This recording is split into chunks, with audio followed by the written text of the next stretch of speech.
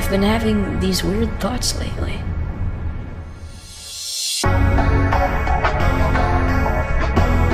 Like, is any of this for real?